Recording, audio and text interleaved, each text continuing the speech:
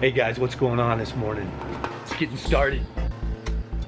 You wanna see something cool? Check this out. You know, we've been working on this project for some public art here in Colorado Springs. Check these out. They're models. They're all scaled models.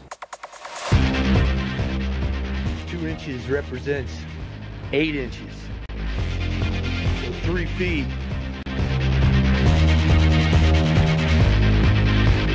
is 12 feet. Getting ready to submit some of these to see if we can't build one downtown this summer. Look at this one. This one here, man. Four feet across.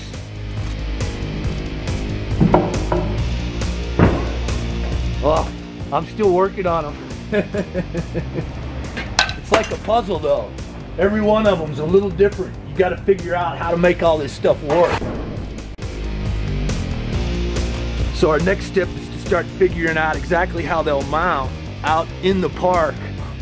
We're exploring some different brackets here. Look at this one. Be 12 feet tall.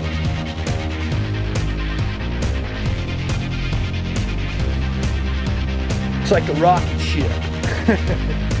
All right, be sure to click subscribe. Go check out my Instagram. I'm gonna be getting pictures of these up. And look at my new website, mitchelldillman.com. Later.